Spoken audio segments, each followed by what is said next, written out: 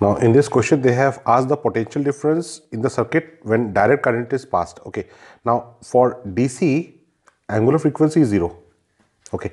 Now potential drop across inductor it is given by VL is equal to I times XL where XL is the inductive reactance. Now XL is the inductive reactance of the inductor. Now XL it is given by omega L. Now omega for DC it is 0. So that means XL is equal to 0. So that means there is no potential drop across inductor. So that means that this entire potential drop from the source will be available across the resistor. So potential difference in the circuit V will be E naught sine omega t. So this is the potential difference. So this will be the final answer.